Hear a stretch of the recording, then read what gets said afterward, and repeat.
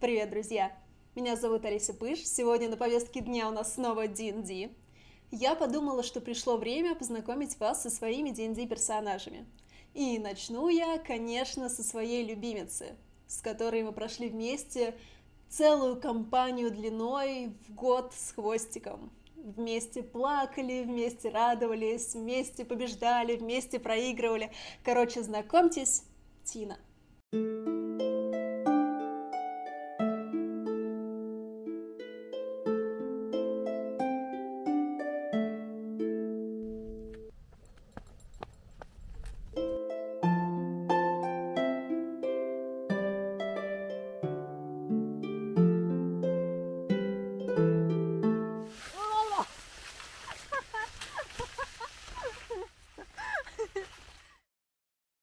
Моя Тина Либертин родилась в Восточной Балии, краю плодородных земель, рыжих тыкв, высоких подсолнечников.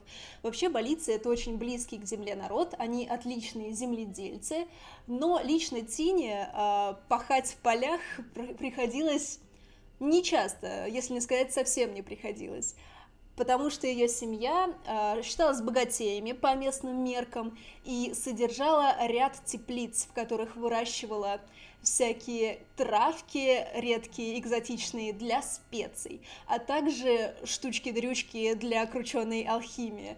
И потом продавала все эти ингредиенты другим герцогствам, а также в академию. Но саму Тину подпускали к семейному производству с большой неохотой, потому что она подходила к делу всегда с открытой душой, со всей душой, и переливала все, что можно перелить, и пересушивала все, что можно пересушить. Так что на практике, как земледелец, она была так себе, и, соответственно, балийкой была не самой лучшей.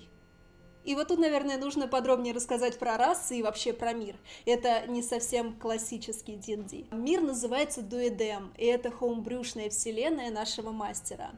И главная фишка этого мира в том, что расы здесь каждая раса произошли от каких-то животных. То есть, например, как мы произошли по Дарвину от обезьян, так же и тут. Только в Дуэдеме повезло не только обезьянам. Например, есть дагийцы, как, наверное, уже понятно из названия, пёсья раса. Такие отличающиеся верностью своей империи, очень преданные, дисциплинированные бойцы очень умные и очень опасные. Есть котицы, мужчины и женщины-кошки, очень ловкие, цепкие и обаятельные. За ними в Дуэдеме закрепилась репутация отменных убийц. Драгоны – самая отстраненная и таинственная раса, в них течет кровь драконов, и обычно они выбирают путь магии, также есть райвены, которые произошли от птиц, и многие из них могут похвастаться крыльями. Эйпманы — это прям человеческая раса, которая получилась из обезьян. И болицы, или как их еще называют, буллы, быки такие крепкие, хлебосольные, немножко простоватые, которые сначала с тобой поговорят, выпьют и только потом зарядят тебе кулаком в нос, если заслужил. Все расы так или иначе имеют гуманоидную форму.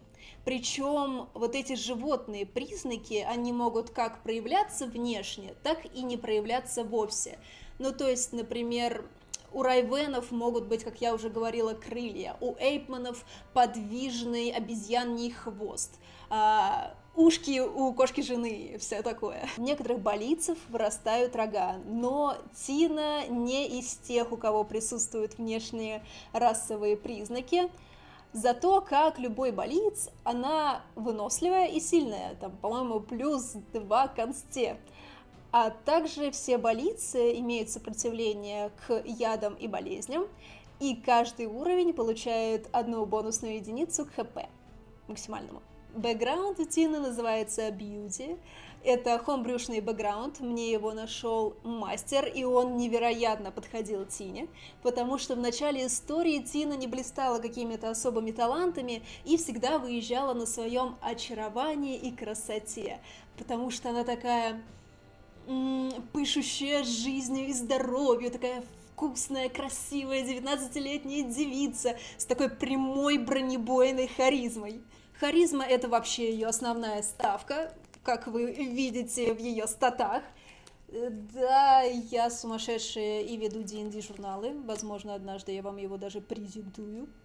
Харизма это ее все, и недаром она у меня Барт. Но и постоять за себя она может. Девица очень отважная, ей приходилось давать отпор из-за своей внешности многим.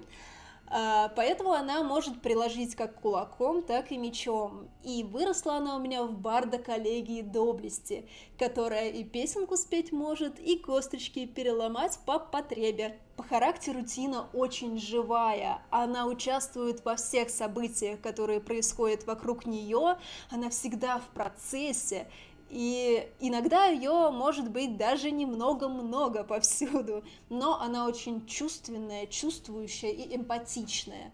Она считает, что каждому можно найти свой подход. И да, она из тех бардов, которые очаровали дракона.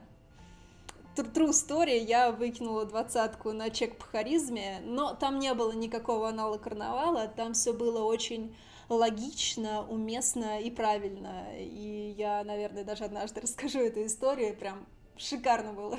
Тина, на первый взгляд, простоватая, но на самом деле очень глубокая. Она легкомысленная, но в то же время не глупая даже хитрая где-то, то есть устроить какую-нибудь подлянку, подслушать, подначить, это про нее но также она очень поддерживающая, она пытается участвовать в жизни своих друзей, насколько это вообще возможно, она очень такая отдающая, она с восторгом смотрит на мир, но из-за того, что она начиталась романов любовных и рыцарских, она очень романтизирует и путешествия, и вообще войну. Мы с ней вместе прошли достаточно такой долгий, трудный путь становления от девочки в розовых очках до владычицы пустоты, от «давайте я вам спою похабную частушку» до «слушайте, я видела столько страха и боли, что мне не хочется о них петь, давайте лучше частушку». Но все ее страдания она собрала уже в самом путешествии, а в предыстории у нее вообще не было никаких трагедий. А, счастливое детство, любящая семья, которая ее баловала, прекрасные братья. Она училась в академии на барда спокойно и весело. Правда, в академии все над ней смеялись, потому что как музыкант, певец и автор она была достаточно бесталанной, и поэтому ее лучший друг посоветовал ей отправиться в странствие, чтобы набраться собственного самостоятельного опыта, вдохновения и историй. Ну и плюс она еще хотела найти лектора Барда, который ее обучал. Он являлся параллельно еще и автором серии любовных романов и пропал, так и не дописав последнюю книгу. И Тине очень хотелось узнать, чем же все-таки закончилась история – Поэтому она очень надеялась его найти в своих странствиях. Кстати, возвращаясь к любовным романам, она настолько их любит, что пытается из реальной жизни сделать что-то вроде романа. То есть она видит, как э, два сопартийца ненавидят друг друга и постоянно там э, колкости друг другу делают, всякие оскорбляют, и она просто такая... Это просто невыраженная сексуальная энергия дружитесь. Так, с трепещущим сердцем она и отправилась в свое первое путешествие, где встретила своих сопартийцев, друзей и даже будущего мужа.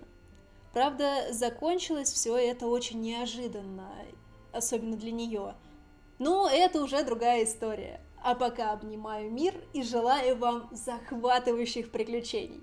Пока-пока.